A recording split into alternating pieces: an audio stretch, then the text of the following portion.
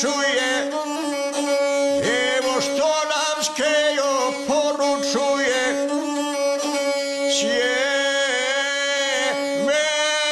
smo posijali novom Očistili zemlju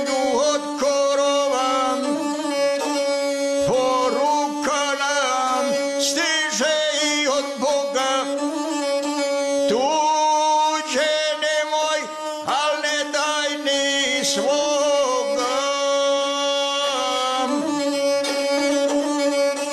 Ovim putem pozdravljamo one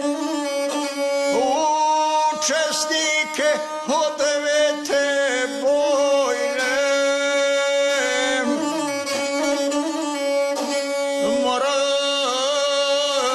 Mrtvim pokoj, a živima slava.